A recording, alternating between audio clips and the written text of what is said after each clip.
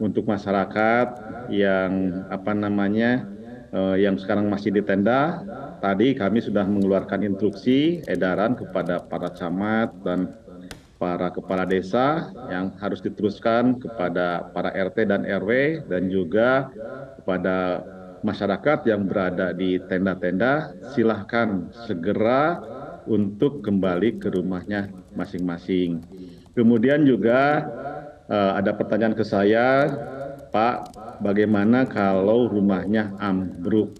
Nah, kami pemerintah bekerjasama dengan pemerintah pusat apabila masyarakat yang rumahnya ambruk itu bisa tinggal sementara dengan keluarganya yang terdekat.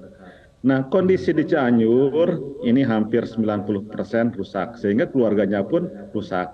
Dan insya Allah kami akan memberikan tenda-tenda di tiap-tiap rumah yang layak ukuran 4 kali 6 sehingga masyarakat bisa menempati tenda sambil sambil bekerja membereskan puing-puing rumahnya. Barangkali masih ada bahan bangunan yang masih bisa terpakai, batanya atau kayunya, sehingga nanti bisa dipakai untuk menambah ruangan-ruangan yang telah ditetapkan oleh pemerintah.